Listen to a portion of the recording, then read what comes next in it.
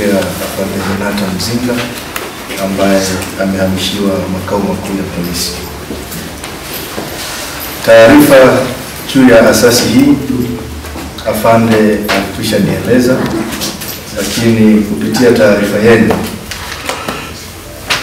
nimeifahamu vizuri madhumuni ya kuanzishwa kwake, shughuli ambazo zinafanyika, lakini mchango wake katika kuhakikisha ulinzi na usalama kwa wananchi wa mkoa wa Njombe, lakini na mikoa mingine ambayo imekumbwa na matukio ya uhalifu yanayoambatana na imani hizi za kishirikina, lakini ramli chonganishi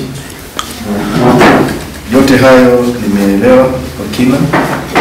Ninachoweza kusema bila kuharibu yale ambayo afande wangu Renato ameshatangulia kuyasema, niwahakikishie ushirikiano wa kutosha. Tutaendelea kufanya kazi pamoja, kwa kuwa jeshi la polisi peke yake bila kushirikiana na asasi hizi ambazo zinajitoa bila malipo yoyote kuhakikisha kwamba wanatupatia taarifa za uhalifu na wahalifu, lakini kutatua migogoro kabla haijazalisha makosa ya jinai. Kazi kubwa mnaifanya, niwahakikishie kwamba nitawapa ushirikiano wa kutosha kama ambavyo afande wangu anayeondoka amewapatia.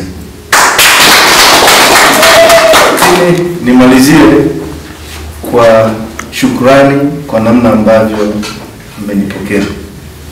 Nimefarijika sana. Nilikuwa najiona ni mnyonge, lakini sasa hivi nina network.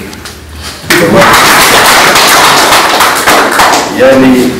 Kwa siku niliripoti hapa weekend, siku ya Jumamosi usiku, namna ambavyo nilikuwa nafikiria Njombe. Mimi nimeishi Dar es Salaam miaka yangu yote ya utumishi, nimejiuliza sana, lakini kwa namna ambavyo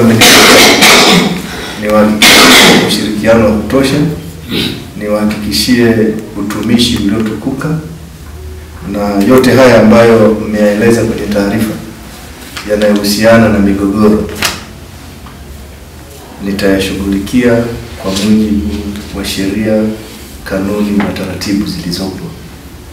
Nachoomba ni kupata details za kutosha za namna ambavyo huu mgogoro upo, na kama tunaweza tukaonana ofisini kwa wale wahanga au waathirika wa ule mgogoro, tuweze kuzungumza na tuone namna ya kuweka mkakati in such a way kwamba mgogoro huu upate ufumbuzi kwa kutumia taratibu lakini mazungumzo.